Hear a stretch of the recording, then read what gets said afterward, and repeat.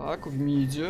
Подцепили в астрал бедолагу Кунку. Но увозят туда прямо под tower. Сюда же прилетает Lifestealer со скорпом. И в центр сбивается, кстати. И отличный РП. Здесь будут забирать все-таки от Aura. Лайфстиллера, я думаю, уже попробуют забрать. Но где-то там сбоку... Lifestealer живет, начинает нарезать. Причем очень здорово нарезает. Минус Legion Commander. Приходит Артус на Бристолбеке.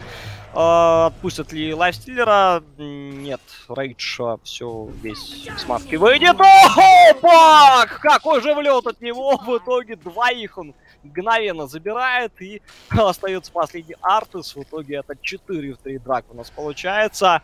Но вот uh, поймал. Да, оценили просто тысяча с двух спылов. Тысяча дэмэджа. Без велов дискордов, без ничего. Прыгнул называется.